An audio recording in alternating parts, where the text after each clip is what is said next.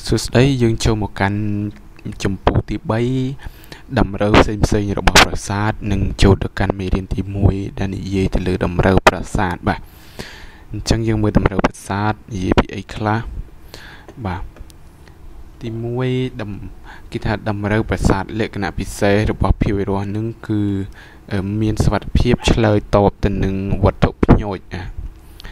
ការឆ្លើយតបទៅនឹងវត្ថុភ្ញូចនឹងសមត្ថភាពនឹងគឺអាស្រ័យទៅលើទៅលើប្រព័ន្ធប្រព័ន្ធប្រសាទអង់ដូគ្រីនណាសរីរាង្គវិញ្ញាណអឺសរីរាង្គវិញ្ញាណនិងប្រព័ន្ធក្រងឆ្អឹងសាច់ដុំបាទ អញ្ចឹងវាមានទំនាក់ទំនងរវាងប្រព័ន្ធប្រសាទប្រព័ន្ធអង់ដូគ្រីនសរីរាង្គវិញ្ញាណនឹងប្រព័ន្ធក្រងឆ្អឹងហើយនឹងសាច់ដុំឲ្យធ្វើចលនាដើម្បីឆ្លើយតបទៅនឹងទៅនឹង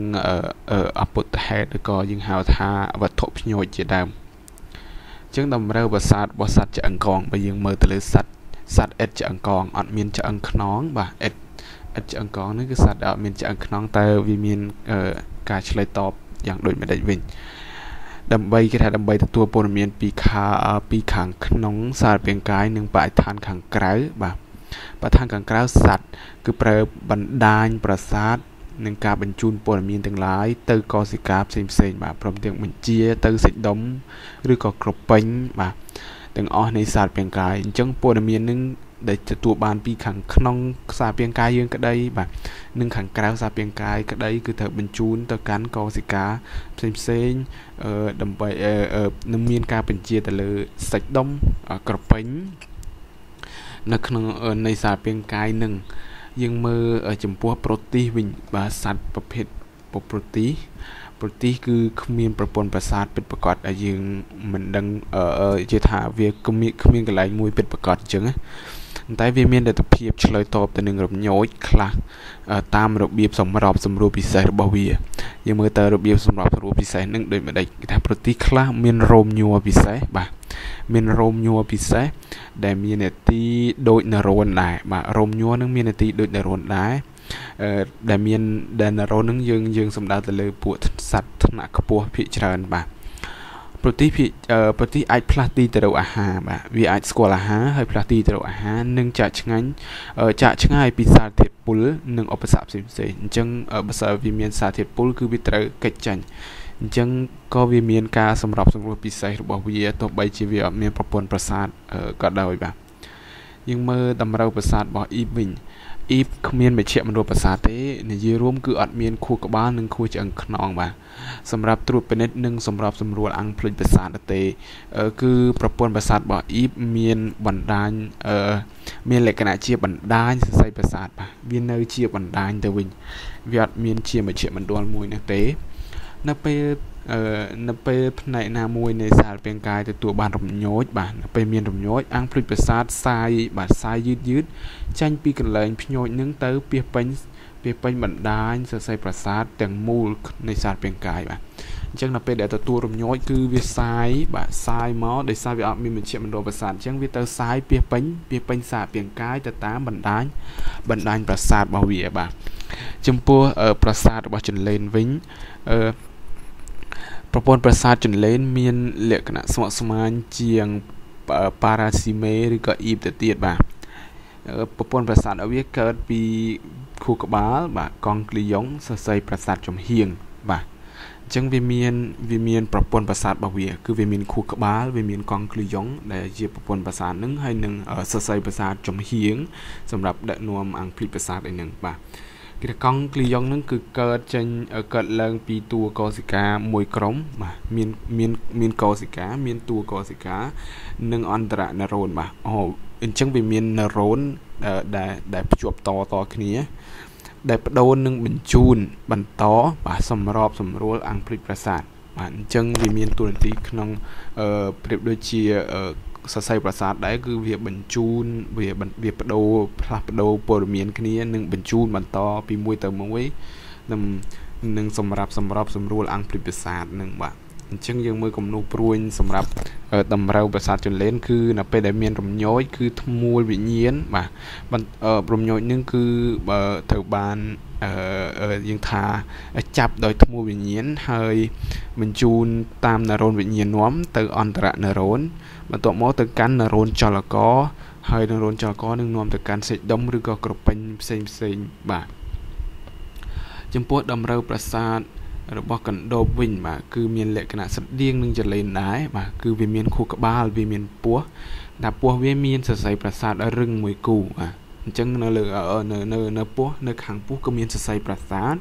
ហើយមានកង់ក្លីយ៉ុងដែលស្ថិតនៅតាមបណ្ដោយបណ្ដោយដងខ្លួនបាទអញ្ចឹងសរីរាង្គវិញ្ញាណរបស់កណ្ដូបមានការវិវត្តជាងចលែនទាំងថាកណ្ដូបមានភ្នែកបាទមានពុកមានជីវហាហើយក៏ជាសត្វដែលរស់នឹងសំឡេងផងដែរបាទអញ្ចឹងក៏អាចស្ដាប់បានអាចស្គាល់រសជាតិពុករបស់វាគឺមានភាពដូច ផ្ដល់ជាវិញ្ញាណមួយរបស់វាហើយក៏មានភ្នែកបាទសម្រាប់អឺក្នុងការមើលដែរបាទខុសពីចលែនចលែនអត់មានភ្នែកទេបាទចំពោះតម្រូវប្រាសាទសត្វឆ្អឹងកងវិញបាទចំពោះសត្វឆ្អឹងកងទាំងអស់បាទគឺរូបគុំប្រព័ន្ធប្រាសាទរបស់សត្វឆ្អឹងកង គឺមានពីរផ្នែកបាទ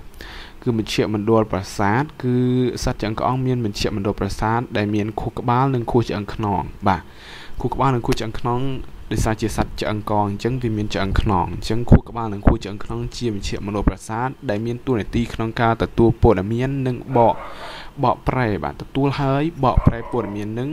នៅក្នុងប្រព័ន្ធប្រាសាទនឹងបាទ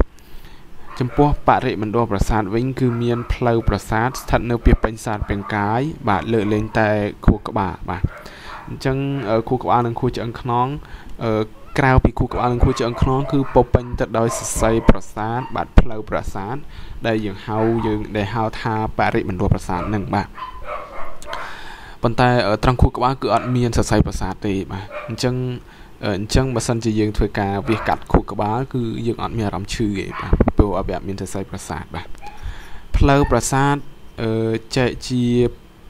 ចែកជាពីរក្រុមបាទ ផ្លូវប្រាសាទយើងចែកជាពីរក្រុមគឺផ្លូវប្រាសាទវិញ្ញាណនាំបាទគឺជាផ្លូវប្រាសាទវិញ្ញាណនាំដែលដែលបញ្ជូនព័ត៌មានបាទពីធ្មួលវិញ្ញាណធ្មួលវិញ្ញាណ ទៅកាន់មជ្ឈមណ្ឌលប្រាសាទបាទអញ្ចឹងនៅពេលដែលយើងប៉ះយើងមានអារម្មណ៍ថាយើងប៉ះទង្គិចទៅនឹងមជុលអីហ្នឹងគឺធ្មួលវិញ្ញាណចាប់ផ្ដើមបញ្ជូនព័ត៌មានហ្នឹងទៅកាន់ខួរក្បាលដើម្បីធ្វើការទៅការបកប្រែអាចខួរក្បាលឬក៏ខួរឆ្អឹងខ្នងនិយាយទៅវាទៅកាន់មជ្ឈមណ្ឌលប្រាសាទអញ្ចឹងបាទព្រោះវាមានមជ្ឈមណ្ឌលប្រាសាទមានខួរក្បាលនិងខួរឆ្អឹងខ្នងផ្លូវប្រាសាទចលករជាបាទផ្លូវប្រាសាទមួយទៀតគឺផ្លូវប្រាសាទចលករបាទជាអ្នកបញ្ជូនបញ្ហាបាទ ពីមជ្ឈមណ្ឌលប្រាសាទមកកាន់សរីរាង្គប្រតិកម្មបាទអញ្ចឹងដើម្បីនៅពេលដែលគូក្បាលធ្វើការបកប្រែហើយគឺបញ្ជូនព័ត៌មាននឹងទៅកាន់ទៅតាមប្រព័ន្ធប្រាសាទចលករដើម្បីបញ្ជូនទៅកាន់សាច់ដុំផ្សេងផ្សេងដើម្បីឲ្យយើងធ្វើការដកដៃចេញពីមជុលអីចឹងជាដើមបាទផ្លូវប្រាសាទចលករចែកចែងជាប្រព័ន្ធប្រាសាទឆន្ទៈបាទគឺមានពីរទៀតគឺចែកចែកចាញ់ ផ្លូវប្រាសាទចលករគឺយើងត្រូវចែកចែកជាប្រព័ន្ធប្រាសាទប្រព័ន្ធប្រាសាទឆន្ទៈបាទជាអ្នកបញ្ជាទៅកាន់សាច់ដុំជាប់ឆ្អឹងបាទនិងប្រព័ន្ធប្រាសាទអឆន្ទៈបាទជាអ្នកភ្ញោចទៅកាន់ក្រពេញឬសាច់ដុំផ្សេងផ្សេងទៀតនៅក្នុងសារពាង្គកាយដូចជាសាច់ដុំបេះដូងសាច់ដុំផ្សេងផ្សេងដែលយើងអត់អាចបញ្ជាបានបាទអាហ្នឹងគឺអឆន្ទៈ ហើយនឹងសាច់ដុំផ្សេងផ្សេងទៀតនៅក្នុងសារពាង្គកាយនឹងយើងនិយាយទៅឲ្យវាភិកច្រើនវាទៅកាន់សាច់ដុំពីព្រោះវាជាសរីរាង្គប្រតិកម្មបាទភីបភីបឬក៏យើងហៅថាសរសៃប្រសាទអសរសៃនេះបាទរួមរួមគ្នាជាបាច់បាទយើងហៅថាបាច់ប្រសាទបាទអញ្ចឹងភីបជាជាបាច់ប្រសាទបាទភីបប្រសាទជាបាច់ប្រសាទ យើងមើលតម្រូវប្រាសាទសត្វឆ្អឹងកងវិញតើសត្វឆ្អឹងកងមានលក្ខណៈតម្រូវប្រាសាទយ៉ាងដូចម្ដេចបាទតម្រូវប្រាសាទឆ្អឹងកងគឺយើងអឺសត្វឆ្អឹងកងមានការវិវត្តខ្ពស់ដោយខួរក្បាលមានការលូតលាស់ល្អបាទអឺនឹងមានសរីរាង្គវិញ្ញាណច្រើនអាមជ្ឈមណ្ឌលខួរបាជាតំបន់វិនិច្ឆ័យនៃខួរក្បាលដែលវាទទួលបកស្រាយនឹង កំណត់ដំណប់ទៅនឹងព័ត៌មានរបស់សារពាង្គសារសរីរាង្គវិញ្ញាណបាទអញ្ចឹងមជ្ឈមណ្ឌលខួរធ្វើការបកស្រាយអឺដោយវាទទួលយកអឺគេហៅថាដំណប់ដើម្បីដំណប់ទៅនឹងសរីរាង្គវិញ្ញាណថាទៅបកស្រាយទៅមិនឲ្យល្អឧទាហរណ៍ដល់ពេលយើងយើងប៉ះមជុលមជុលមុតយើងឈឺយើងទៅដំណប់មកវិញយើងទៅដកដកដាយអញ្ចឹងជាដើមបាទ ចំពោះខួរតូចគឺមានតួនាទីសម្របសម្រួលខាងចលនាបាទនិងត្រួតពិនិត្យលំនឹងអញ្ចឹងខួរខួរតូចអឺគឺមានតួនាទីក្នុងការត្រួតពិនិត្យចលនារបស់យើងនិងលំនឹងលំនឹងការដើរអីជាដើមបាទសរីរាង្គខៀនវិញ្ញាណបាទសរីរាង្គខៀនវិញ្ញាណ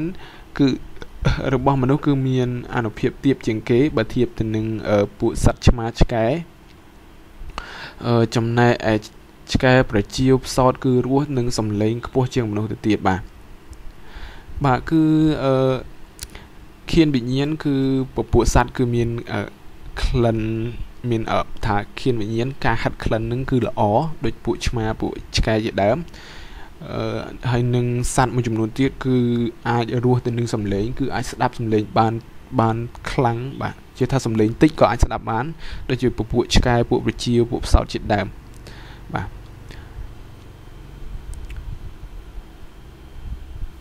អញ្ចឹងអឺមេរៀននេះយើងបញ្ចប់ត្រឹមនេះចុះបាទយើងចាំតនៅវគ្គ